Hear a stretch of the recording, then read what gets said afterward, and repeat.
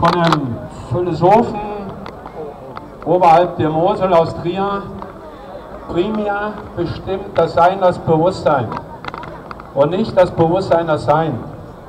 Und wie ich jetzt die Fahrradwelt in Köln mitbekomme, da muss ich sagen, da muss, und das sage ich jetzt nicht, um hier populistisch zu sein oder einfach dem einen oder anderen am Mund zu reden, da muss sehr, sehr viel nachgebessert werden. Sehr, sehr, sehr viel nachgebessert werden.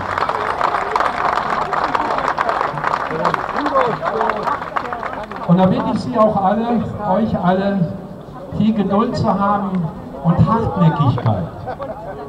Da müssen wir noch ganz dicke Bretter bohren. Und ich glaube, ich brauche hier keine Eulen Athen zu tragen. Wenn man so ein paar Städte, man kann weitergehen. Natürlich Kopenhagen, wo ich auch war, drei Tage am Rad gefahren bin. Göteborg. Aber man muss auch gar nicht so weit fahren, kleine Städtchen nach Remont. Und was ich da gelernt habe, ist, das größte Handicap hier in Köln, die 30 Jahre alten Ampeln, die voll und ganz auf Autostadt und Autoverkehr. Das ist ein ganz, ganz großes Handicap, ein Hindernis.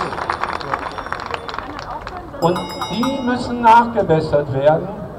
Dann haben wir schon mal ganz, ganz viel erreicht. Ich sage immer, in Köln wird man zu Rotfahrerinnen und zu Rotfahrer erzogen. Und das müssen wir weiter diskutieren.